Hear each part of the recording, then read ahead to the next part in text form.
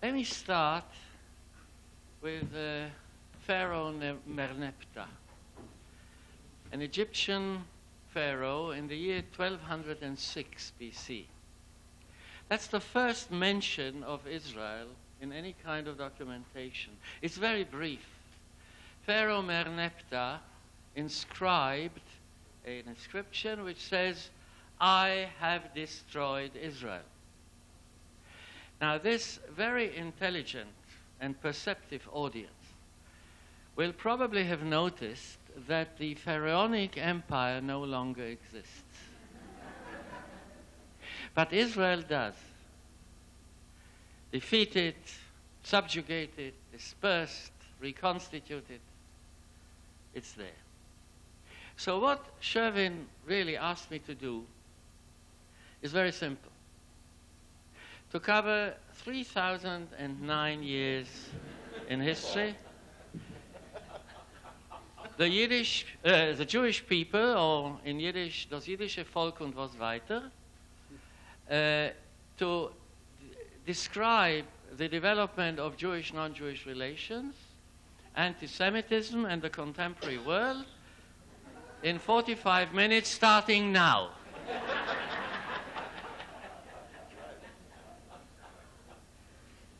Easy. You see, picking little bits and pieces from here and there and trying to create a kind of a picture. What I want to start with really is the fact that it took the Jewish people a very long time to become a Jewish people. Because the beginnings are very murky and very, very uncertain, and, and, and we don't really know an awful lot. A combination of groups, probably, some of them escaping from some kind of slavery in Egypt, led perhaps, maybe, possibly, by a person who had the family name of the Egyptian pharaohs, you know, Ra-Mses and Tut-Mses, and this man was Mses, Moshe, Moses, possibly. And uh, Canaanites, as we heard here in one of the colloquia, uh, escaping from towns in, in, in, in the land of Canaan or Palestine or the land of Israel, it's the same place. And uh, escaping into the woods, into the, into the mountains, and then united with other groups there, and then perhaps uh, organizing itself in some kind of a tribal structure or a kind of a, uh, uh, I don't know, some kind of land. We don't know who was meant by Pharaoh Merneptah anyway. What is Israel? Well, what is a place? Was it a people? Was it a town? What, what was? We don't really know. And the people were not included in this group that ultimately formed itself into some kind of a unity. The Moabites, the Edomites, the Ammonites, they were really Hebrew-speaking peoples who, uh, for some reason we don't know, didn't, were not included in this. By the way, very recently in Jordan, in Amman, which of course the name Amman is Rabat Ammon, that's the capital of the Ammonite kingdom. Now it's the capital of Jordan. You see how time is sort of relative. It's, it's really the present. It's 3,000 years ago, but it's now. And a, an inscription was found on a vase by an Ammonite king whose name was Aminadav. Now, you can't have a more Hebrew name than Aminadav. And the vase was inscribed in ancient Hebrew script. And it's in Hebrew because the Ammonites spoke Hebrew. And uh, it says that the great prophet, Bilam, in the Bible, but he's also an Ammonite prophet. And he worshipped a god, an Ammonite god who was called, believe it or not, Elohim. It's the same kind of groupings. Hebrew is a dialect of Aramaic. Uh, the Hebrews, Israelites, Judeans were part of this whole structure of the Middle East. And then apparently there was a king, we just know the name, David. Don't really, apart from the Bible, we have no documentation except for one little piece of archaeological remnant where it says the house of David. And we'd have no really uh, relevant information about Solomon and so on. But then as time goes on, we have much more information because it comes nearer to the time when all this stuff was written down and collected, and maybe from ancient manuscripts, who knows. And the northern kingdom was destroyed, right? We all know that, Israel. And the ten tribes were dispersed. All these legends about them are nonsense. They, they just don't exist. And the two tribes that were left, a tiny little area, you know, uh, Judea, it's, it's, it's, probably less than metropolitan Detroit. And uh, that's where the uh, kingdom of Judah uh, was founded and developed and so on, maintaining itself by the skin of its teeth. And it had relations with the outside world, of course, with the big empires, with the Syrians and the Babylonians, and to the north, with the Egyptians, to the south. They usually picked the wrong allies and were defeated there and here and again and again and again and so on. And they maintained themselves for a time. And then you have, you see, a culture developing, a civilization with tremendous internal uh, problems and, and, and arguments and so on. We know only one side. We know the prophets, wonderful people. Now, they were acting against the false prophets. Now, I'm absolutely positive that the false prophets didn't call themselves false prophets. and we don't know what they said. Basically, uh, as Yaakov Malkin taught me, uh, uh, for hundreds of years in the temple in Jerusalem, there was the statue of, the, of a Phoenician goddess, Asherah, Astarte. And there was a struggle between those who wanted the Jehovah God to become the real big God of this particular group and then universalize that God created heaven and earth. And, and that came later. It was a struggle. In the end, they won. And a Jewish civilization began to develop or continue to develop. So it's not that we appeared at one point and there we were. No, it's a slow development. And you see, then we create legends about ourselves. All ethnic groups, nationalities, create legends which they ardently believe in. The legend that we were exiled from our country. So the first Babylonian exile, if you look at it carefully and read the Bible carefully, I think you will realize that there was a small number of aristocrats and, and probably the army, whatever there was there, and bureaucrats who were deported by Nebuchadnezzar to Babylon. Probably about 17,000 or thereabouts. And the rest stayed behind. And they, they stayed behind, they were there. And that's the exile. And that's it. And then they stayed there, and then they came back. Did they come back? Nonsense. A few of them came back. A couple of thousand, maybe 3,000 came back. And the rest stayed there. And you have the beginnings of a diaspora. And then comes the Second Temple and the whole business, the Persian rule and the Greek rule. So And then come the Romans. And in the, mean, in the meantime, you have an independence, the Hasmonean kingdom which did what? It converted, in other words, it forced Judaism by brutal force on the surrounding peoples, on the Edomites, on the Galileans, and others, who in the meantime had ceased being identified with the Jews. So, who are we really? Well, we are a mixture like everyone else. We are just as pure blooded as any Detroit mixed poodle. uh, and you, you just look at us, I mean, you can see. But the culture, the civilization is there. There's, there's a core there that develops in different directions and in contradictions and so on. But that core develops. And that's the fascinating thing about us. Now, the relations begin to sour. The relations in Babylon didn't sour. We have no evidence whatsoever of any persecution or murder or pogroms until, in fact, the Arab conquest in the 7th century of Mesopotamia. The Jews did not, they were not evicted. In fact, there was a small, short period of time when there was a kind of a Jewish kingdom there. They were agriculturalists, they were traders, they were the craftsmen, everything that other people did around them. They maintained themselves as a separate group, separate civilization. I don't know whether they were loved. I don't think they were hated. I think they were accepted. They lived there for a very, very long time, well over a thousand years. In Alexandria, which was founded, you know, by Alexander the Great, obviously, the, at the end of the fourth century BC, and there Jews developed, a Jewish, big Jewish community. Where did it come from? Well, it came, perhaps, probably, very possibly, a small number of uh, Jews or Judeans who escaped from the destruction of the first temple, including Jeremiah, who went to Egypt and uh, settled there. There must have been others like that who then went on.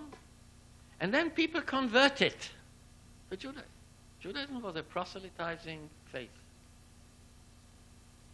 There was a group of Jewish soldiers who settled in the south of Egypt, what is now known as the Elephantine Island. They built a replica of the Jerusalem temple there. They were soldiers. They defended the late pharaonic empire from the Nubians in the south. But I think many of them were people who had converted to Judaism because Judaism offered a solution to all kinds of problems that people had with themselves, with their faiths. There were no secular Jews or others. It's a later development. But in this uh, multiple, very beautiful pagan world, there was, a, there was dissatisfaction with the answers. And here was a clear, developing a clear answer. And uh, these people, Jews in Alexandria, were attacked by the Egyptians and the Greeks in the city.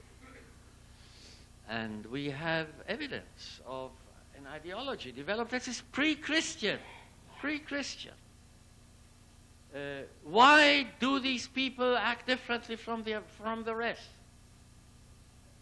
We can't invite them to eat to share our food with them. They won't eat it because they've got these funny dietary laws.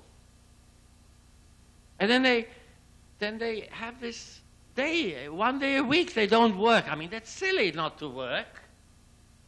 How can you build, you know, pyramids or whatever when you have one day off? And these people have in, invented not only that day for ordinary free people, but for slaves as well, and for animals, and even for the land. And you know, it's not even a Jewish invention. Nothing that is traditionally Jewish, or very little, is actually comes from us. It's an adaptation of other people's ideas. Monotheism is Egyptian in the 15th century. Pharaoh Akhenaton, wanted to have the sun god as the only god in the world who created the world and so on and so forth. And the Sabbath is a Babylonian thing. Shabbatu is a Babylonian word. There it was only for the aristocracy, you see, who the day off. The Jews then broadened the idea. And this statement in the Bible, which can be interpreted as an opposition in principle to slavery, it's not, well, you can get around it. You know. but in principle, it's not a good idea.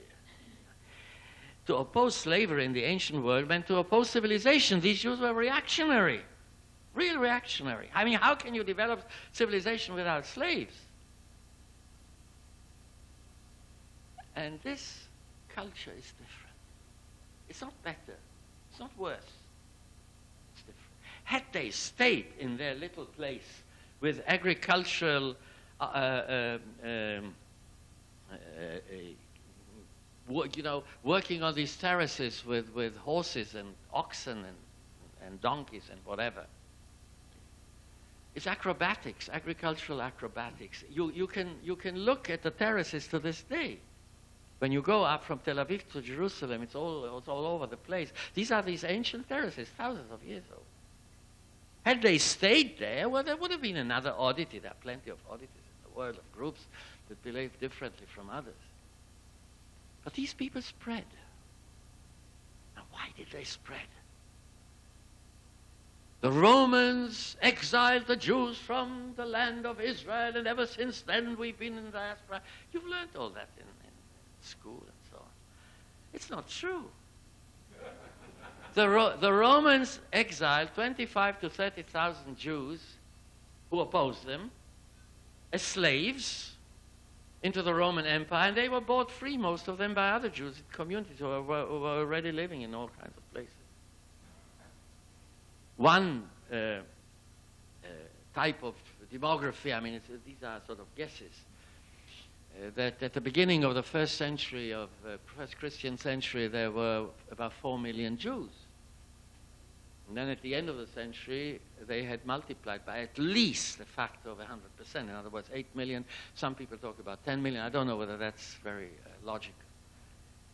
But a high proportion, maybe up to 8, 9, 10% of the inhabitants of the Roman Empire were Jews. They were a real danger to Rome when they rose in rebellion. There's no joking matter.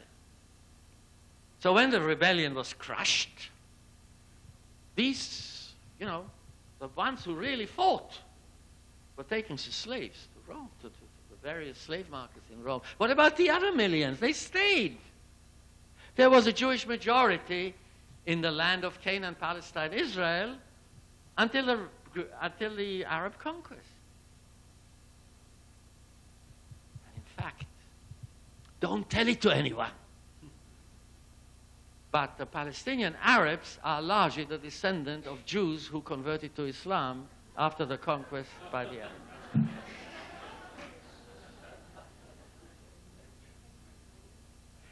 Which doesn't mean that the others weren't Jews. They too were. But then you see, you don't multiply within 70, 80, 100 years a population in those days simply by natural increase and certainly not when the, you know, the political catastrophe of the destruction of the temple. So it's quite clear that uh, there was a tremendous movement of conversion. And it's documented in Roman writings. Because, you know, the ladies, the aristocratic ladies of Rome converting to Judaism, it was a terrible danger to the Roman Empire. And the Roman writers write about it. So we are also descendants of Romans, in case you didn't know. And yet, you see, it carries on. It's, this, it's a tradition. You are accepted into a tradition that you were not born into. Tell that today to the Orthodox, conservative, and Reform people here, okay? That you don't have to be born Jewish to be Jewish. It's an old tradition, very old tradition. So where does anti-Semitism come from? There's an article, I spoke about it to Felix Posen as we were coming this afternoon, which was written by a good friend of ours, one of the great, really great contemporary Hebrew writers, Aleph Bet Yehoshua, known to most of us as Bully Yehoshua. And Bully wrote an article which is going to be published in Hebrew within the next, what, few weeks I'm sure it's going to be translated into English.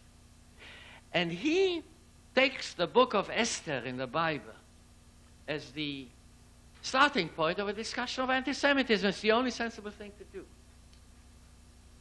The story is well known. A Jewish concubine of a Persian king by the name of Ahasuerus, who has an uncle by the name of Mordechai, who guides the concubine by the name of Esther, who prevents by interceding with the king the total annihilation, extermination of the Jewish people in this vast Persian Empire.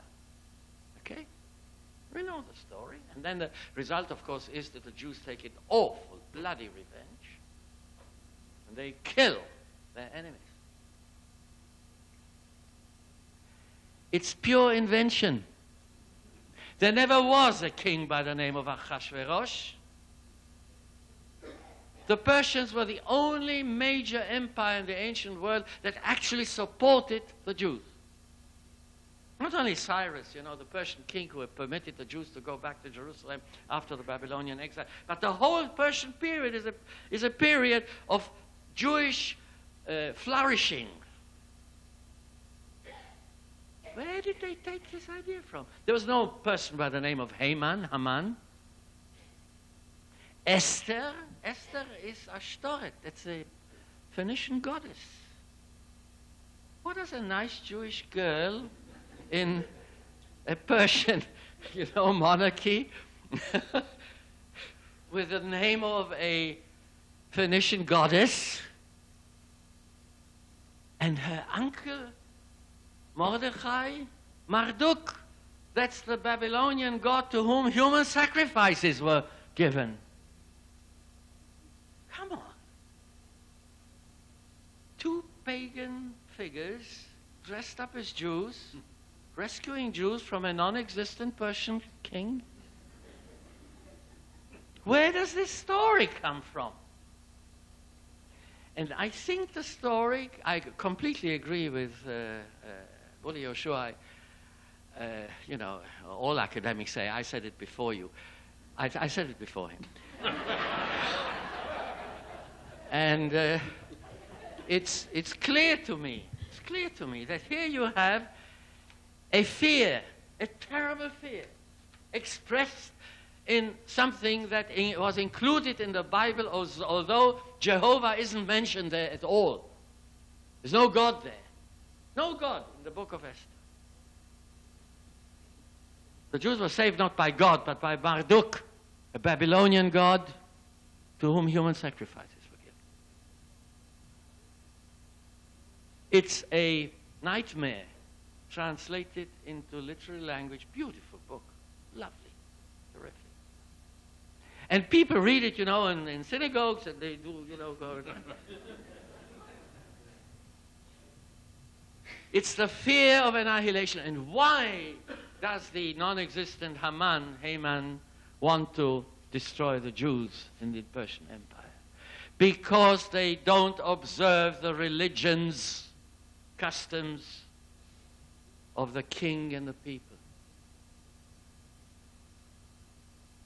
because they are different.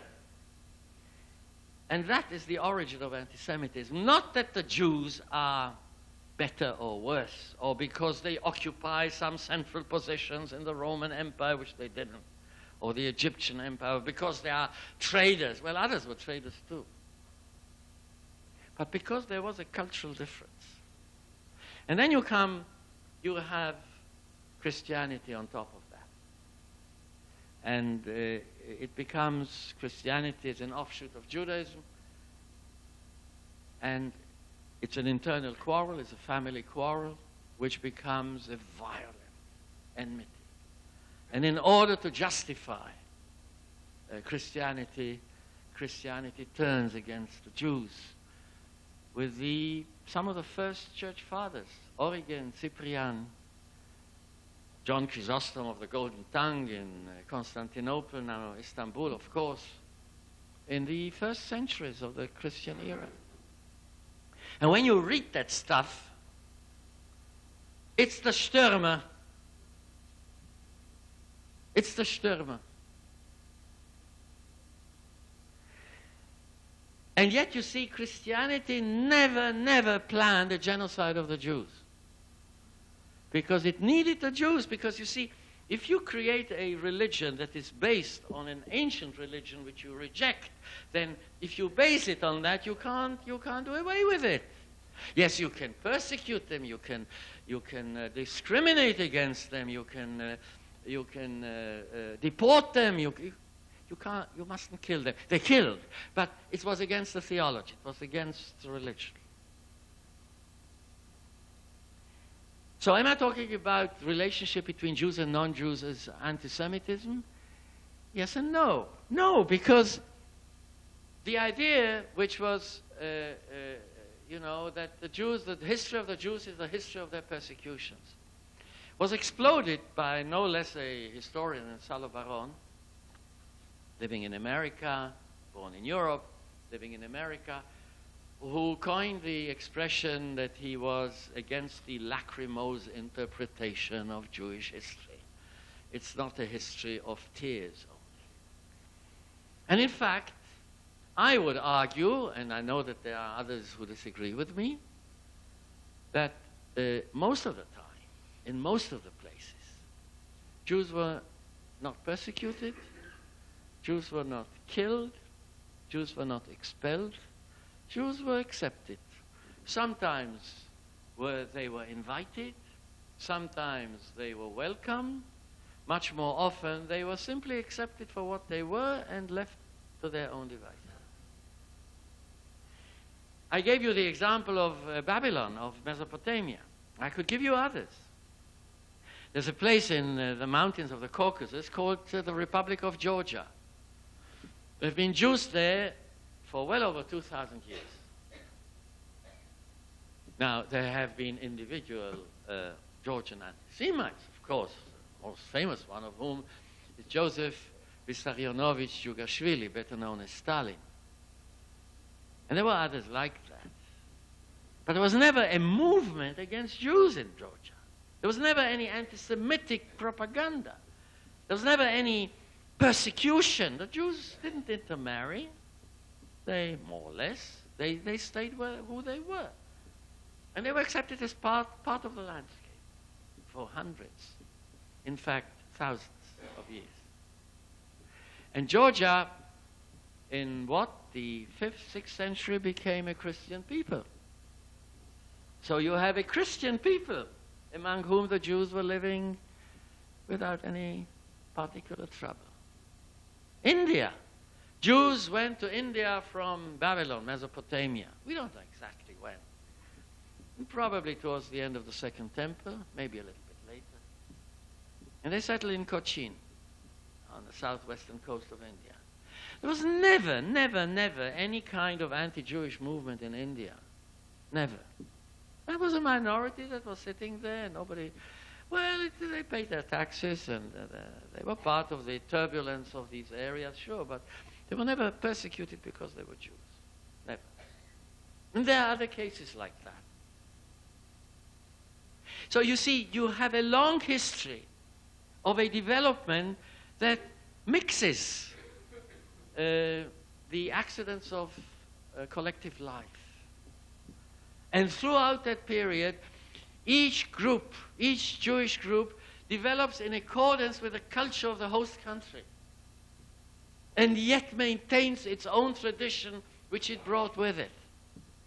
So when you talk about the Jews of Poland, for instance, until the 16th century, there was no persecution of Jews in Poland, but Poland in the 16th century entered into a, a long period of terrible crises and occupations by, by, by, by, the Muscovites, by the Swedes, by the Prussians, and so on and so forth.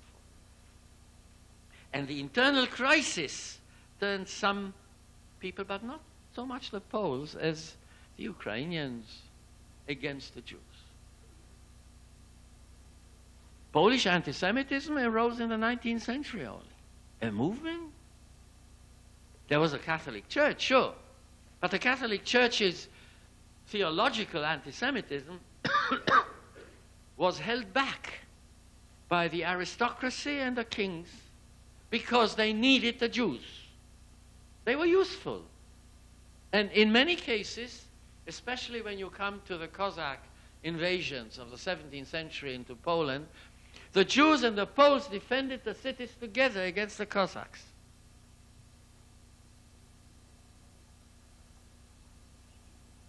Polish survivors of the Holocaust will tell you sometimes that the Poles were worse than the Germans. They were not. Which doesn't mean to say that there wasn't a tremendous amount of anti Semitism in Poland. But Polish anti Semitism is relatively new. And in Poland, indeed, the main factor, the major factor turning the Poles against the Jews on the basis of a theological anti Semitism which was propagated by the Catholic Church for centuries, were economic issues. And you have it in, you see, in different forms, in different places.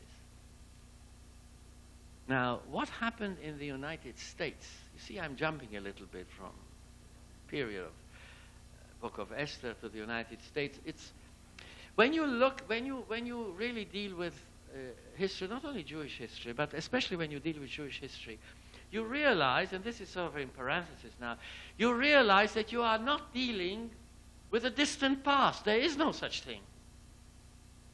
People are the same today as they were 3,000 years ago. The same kind of motivations, power, wealth, status, were active then and are active now. The same kind of emotions. Yes, they are changed, sure. But they are not so significant as to prevent me from saying that there is our concept of time is mistaken. We measure time according to our lifespan. There are 70 years, 80 years, whatever. But history moves much, much slower than that, on the one hand, and much faster on the other hand. It's called dialectics, contradictions that do or do not resolve themselves. And if you don't like Marxist dialectics, go to the Greeks. It's the same thing. And I think that if you don't think dialectically, you don't have an understanding of the time element. When I'm talking about the book of Esther, I'm talking about 2003. When I'm talking about Poland in the 19th century, I'm talking about the early church, church fathers. We live in the same world we have our little, you know, chronological divisions. They are very often mistaken and misunderstood. Let me go back to what I was talking about. That there is this dialectical development. On the one hand, yes, you do have persecutions and you do have expulsions and you do have all kinds of very bad things. And yes, on the other hand, you have long periods of time when people live in a place, Polin, Poland, the Hebrew word for Poland is Polin, which means in Hebrew, here you will spend the night. Here you settle. Polin. And Poland was Polin for the Jews for hundreds of years. Less than in Mesopotamia, but still hundreds of years. Now, you come then to the modern period, to the very modern period. and you will expect me, because that is after all my major topic, to talk about the Holocaust. But I'm not going to do that. Because it'll be included in a few remarks that I'm going to make now, by implication. You see, the extreme forms of Jew hatred arise in modern times and they are based on ancient ideas translated into a new environment. National Socialist propaganda against the Jews has no element in it that cannot be traced from hundreds of years before that. But there is a new idea there, and that really is new. And that is racism. Because we have had in human history any number of cases where one social class wanted to replace another social class, where the bourgeoisie in the France of the late 18th century wanted to replace the feudal order where the German peasants of 1525 wanted to destroy the feudal system in Germany in favor of the peasants. Well, any number of cases like that. What's communism, after all? Not communism that became uh, the uh, uh, uh propaganda of a uh, uh, imperialist Russia, but the original idea to replace one social class by another. We've had that one before religions, one religion replacing the other, one nationality replacing the other, one empire replacing the other.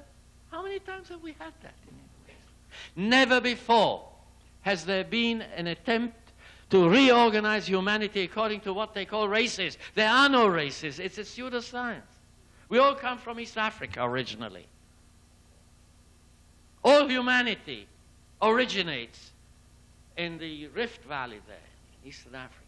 Now, some of us have spent too much time in northern climates, so the pigmentation has become too pale. But uh, basically, we are all Africans originally. There's no such thing as a race. On the basis of this pseudoscience, these people wanted to reorganize not Germany, not Europe, humanity, all of humanity. Not immediately, by the way, in the 19, early 1930s. But when you look in the 1941, 42, 43, 44, you find it there. That's new. And there you see is a tremendous problem. Not only for Jews, but first of all for Jews. Because Jews are Satan. Jews are the enemies of humanity. And then you have the United States. But the United States is the exact opposite. For the first time in Jewish history, the Jews have not only become accepted as individuals and as groups, but they have become part of the ruling class in a major empire, the American empire of today, for the first time. To a certain extent, that up to a point, you can take England as an example, too, but it's, it's much weaker. In America, there is, of course, anti Semitism, yes, but it's marginal. It's, it's a few percentage points. Of course, American Jews, if you turn to American Jews, um, uh, anti Semitism around the corner, we are threatened with another Holocaust in America, all this kind of nonsense. In fact, uh, American Jewry has exactly the problem that Sherwin mentioned at the beginning the uh, embarras de richesse, the, the, the, the, fact that you, you, you it's so good, so why should you remain Jewish? But there's pressure from the sides, not anti Semitic pressure necessarily, pressure. Now, this is new. So there are two new elements a negative one and a positive one. And we don't know how to handle these things. We are totally at loss. Because we are ruled internally, Jewishly, by a, an establishment that to use a, an expression originating in Brooklyn, they don't know from nothing. what they, they, they, you know, they, it's all, it's a quarrel between Orthodox, conservative, reform, reconstructionist maybe. Uh,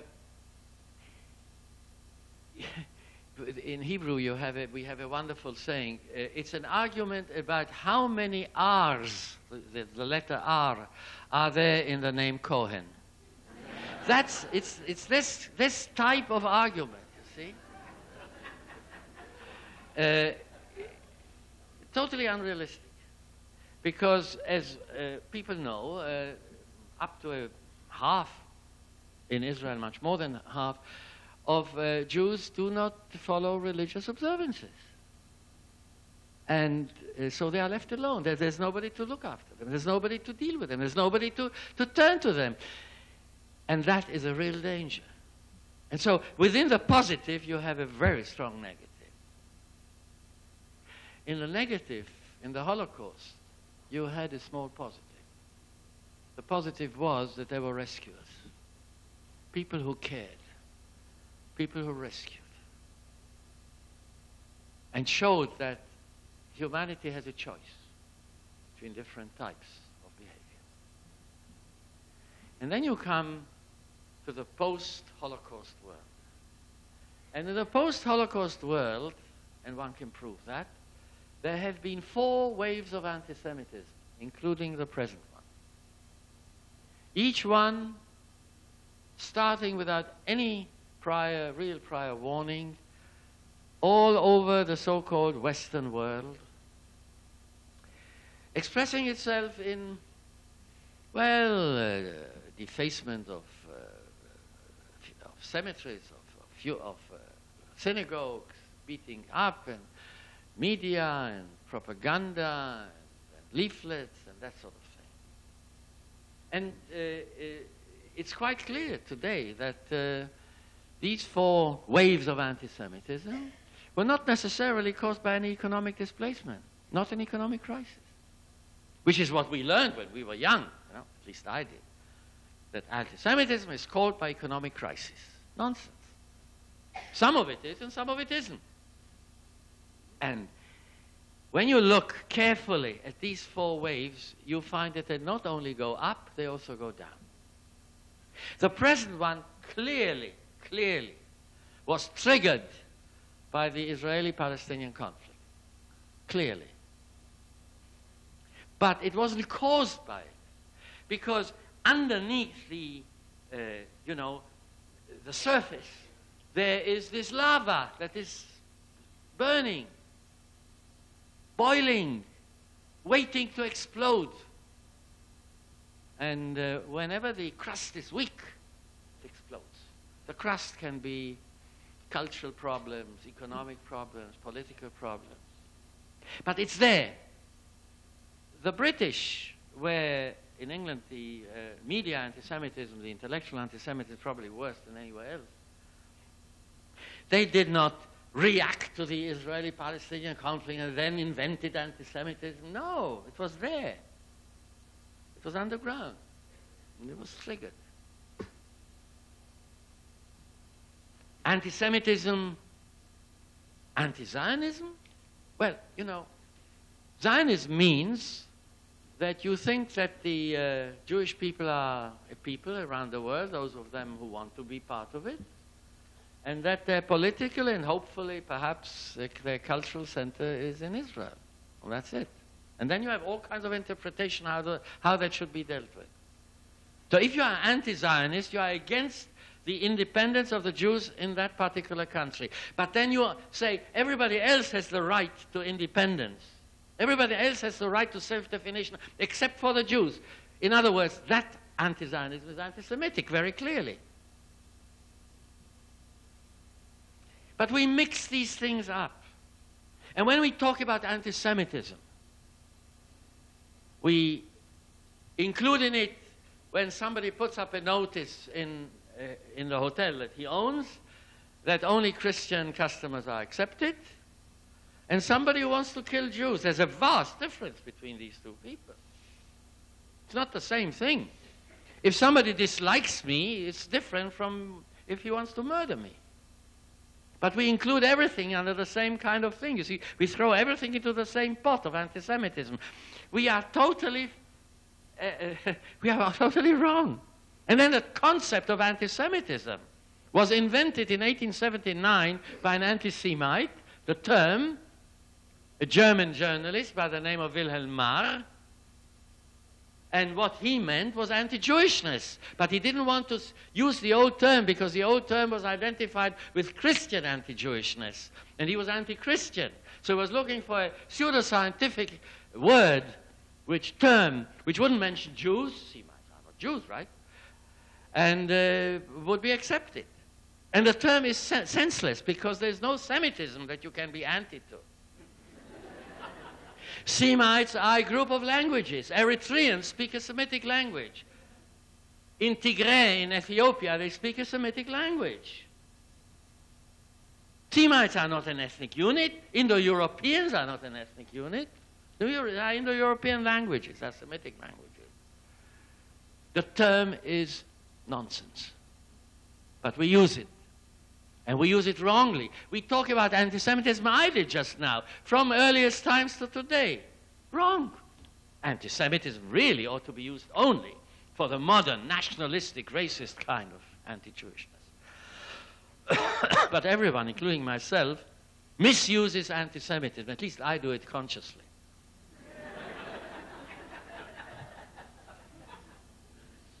and modern anti Semitism is a mixture of these things. It's not, you know, people say, is this racist, nationalist anti Semitism or is this traditional Christian anti Semitism? You can't differentiate that, that well. These, anti-Jewish sentiments are now a mixture because post-Holocaust is influenced by what happened during the Holocaust, by National Socialist ideology. You can't differentiate anymore that clearly. Yes, you can say this is more traditional and this is more racist, sure. But this clean differentiation cannot be made. Nowhere is this clearer than in radical Islam today.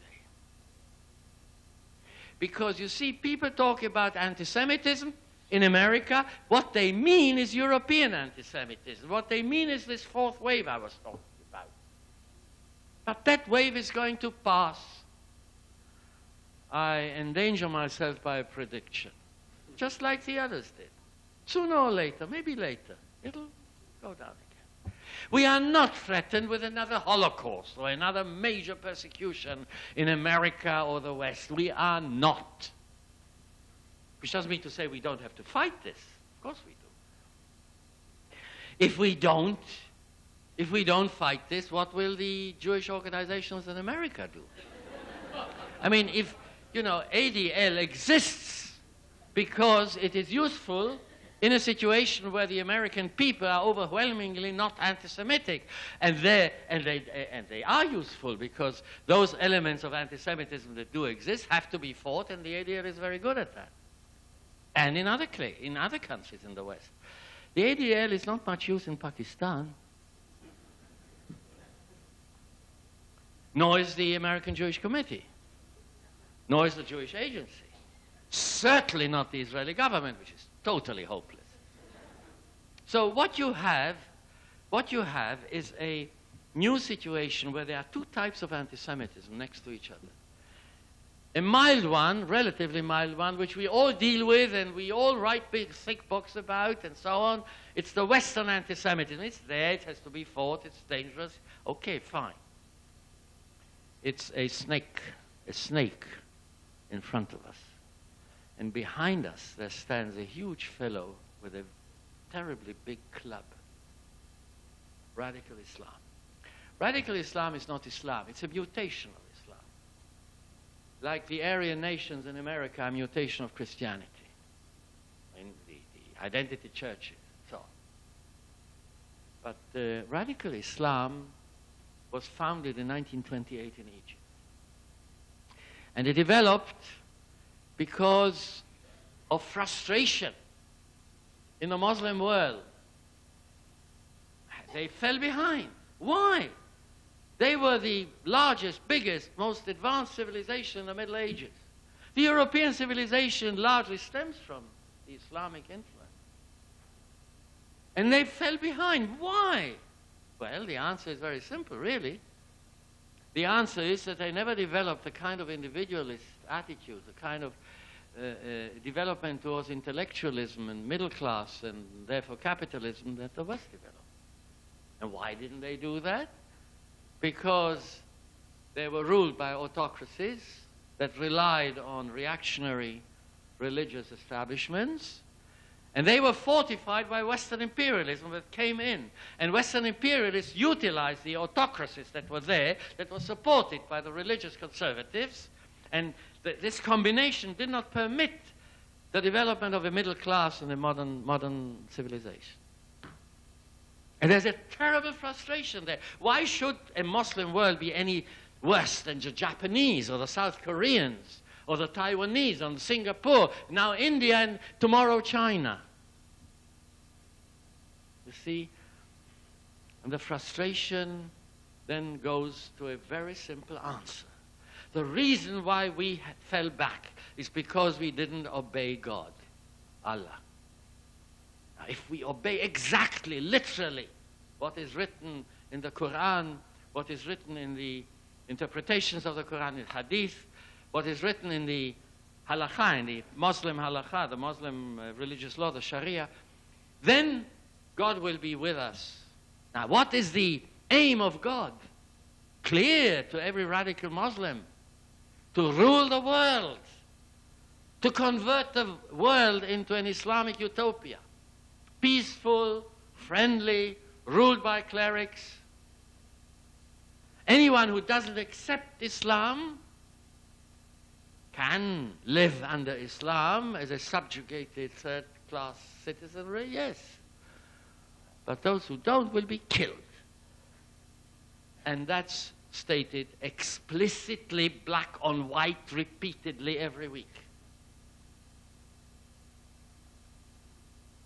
The latest uh, expressions are uh, four weeks ago on an Islamic, uh, radical Islamic website. We have to kill four million Americans, out of whom two million have to be children, as a revenge for what America did to us. That's genocide. Kill all the Jews. No longer the, do the Jews have a choice of becoming subjects of a Islamic rule where they will enjoy second or third class citizenship. Kill all the Jews. There's no differentiation between Zionist Jews and non Zionist Jews. There's no differentiation between Israel and the diaspora. Now, slated for not destruction, for murder. There's a parallel between that and National Socialism, and if you like, Soviet communism as well. Because radical Islam is anti national. It opposes Arab national states. Did you know that? Arab national states have to be abolished. Islamic states, part of a worldwide Islamic confederation, have to come in their stead. And the first targets, of course, are non radical Muslims, naturally then the Jews, and then the Americans, and then all the, all the other Western nations, and then the Hindus, because the Hindus are pagans. They're not even Christians or Jews. And unless they accept Islam, a statement on television 10 days ago have to be killed. Pakistan is an excellent example. There are no Jews in Pakistan. Well, there was one and he was killed, Daniel Pearl. Pakistan is an anti Semitic country to the bone. There are no Jews there. There never were any Jews there of any, in any number, you know, here one, there one. You don't have to have Jews to, have a, to be anti Semitic because uh, the Jews be, have become a symbol of something you attack. It's not the only country, quite a number now, what do you do about it? Well, the Americans are totally mistaken, in my view. The American pursuit of terrorism. Yeah, it's got to be done, sure. But they do nothing else. And you can't defeat terrorism by force of arms. I know that from my own country. You can't defeat terrorists by moving in can't move in. It's nonsense. So you have to de- do other things. You have to educate. You have to make propaganda. You have to utilize the fact that there are millions upon millions upon millions of non radical Muslims, of anti radical Muslims. And persuade to use the most modern technical means to counteract that propaganda. From a Jewish point of view, I think that we are doing the wrong things internally and externally. There are two centers for strategic studies in Israel. One in Tel Aviv, Tel Aviv University, and the other one, a relatively new one in Herzliya. And they are serious centers. They are, you know, they do excellent work. But they are concentrated on Israel. They are concentrated on the security and political problems of Israel. And yes, they deal also with the diaspora, so they deal with anti Semitism, and, and yes, and how, how, how do Jews feel, and so on. That's not what I mean when I say strategic studies. The position of the Jewish people in the world, and the world related to itself and to the Jewish people. The fact that in the Western world, Europe and the United States. There's a decline in populations. In this country, you would have a decline in population were it not for the massive immigration from South America and Central America. And in Europe, the number of people is uh, growing less and less. In another 10, 20 years, there will be many less Russians and Poles and Germans and Czechs and, and French and British and Italians and Spaniards and Portuguese. It'll be an aging population. Who will support them? They have to have immigration. But India and China are developing countries very fast. The, the, the rate of uh, the uh, increase in the GNP in India this year is estimated to be between 4 and 7 percent. The immigration will come from the poor, poor, poor countries, from the Muslim world. There are now 18 million Muslims in Europe, a tiny minority of whom are radical Muslims, but it's increasing. And if you have this going on and on, you have to have some kind of a vision in front of your eyes what to do about it. And we are part of that. The number of Jews is not increasing, to put it mildly. Less than 13 million. In a situation like that, strategic Jewish thinking would say, we are in an endangered world. We have to be partners in any kind of effort that will maintain democracy, which is a weak reed in the world. We have to be partners not in using the present military superiority that we have, but in using that as a backdrop to efforts that will change the situation. And strategic Jewish thinking, to my mind, and I'm expressing my own view, it's the view of an individual, and I have yet to see any large number of my colleagues who will support it. So don't rely on what I say. But uh, in my view, the Jewish people getting smaller has to have a number of strategic answers. One is to open up, to increase our numbers, just like we did in the first century of the Christian era. Accept people who want to be Jewish. They may be crazy that they want to be Jewish, but there are people like that. And the more the better. Be pluralistic, absorb incre- increase by including, not excluding. You want to be ultra Orthodox? Lovely. Be ultra Orthodox by all means. But if you're not, you're just as welcome. In Israel, the idea of occupying the West Bank in a country that in another 10 to 15 years will have an Arab majority. I did not fight the war of in, in the war of independence to live in an Arab country. I want a Jewish country.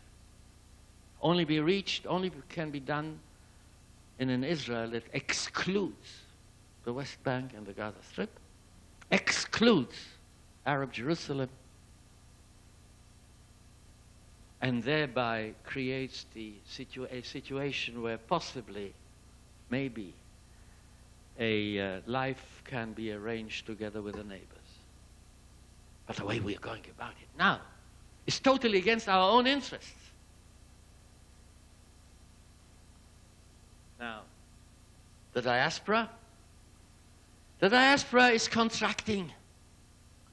In another 20 years, there will be a Jewish majority. The, most of the majority of the Jewish people are going to live in Israel, not because they immigrate there, but because elsewhere they are diminishing. The only place where the Jews are increasing, natural increases in Israel. But without the diaspora, Israel cannot exist. So there is a strategic element in the desire of any sensible Jewish politician, in my mind, to increase the diaspora, to make it stronger. Not militarily, and not by eating kosher. and unless we do that, we put ourselves in a terrible danger. So let me conclude. Only very few people have uh, during my lecture here, have uh, been sort of showing signs of uh, falling asleep. At this point, I think I should end, and I would like to end with a hope. It's a good Jewish custom. You know, you, you say it's terrible, it's awful, so. In the end, it's going to be uh, Beseder. It's going to be okay. Well, I'm not sure that it's going to be okay, but there's a possibility. The possibility is to strengthen those, not only amongst the non-religious, also amongst the religious Jews, who understand that we have to have global thinking, that we have to plan our future, that we have to have political savvy so that we can plan options for what to do. Politicians that will understand that we have to collaborate with others on the basis of the understanding of certain values that we want to present. And the values may be very vague. But it, they mean basically the individual freedom and the possibility of development and equal chances. I don't want, Sherwin, I don't want love. Love is a very private feeling. I want understanding. I want something where people, in their own self interest, feel that they have something in common with us. And therefore, not because of our beautiful eyes, want to collaborate. And there are people like that. Collaborate with us for a future that hopefully will be better, not only for humanity, it's a very large word, but for this small people, less than 13 million, if I want a Jew, but with my views, I would probably convert to a secular Judaism. Because it's a wonderful people, terribly exciting, awful, an awful people, a disgusting people, a wonderful people, us.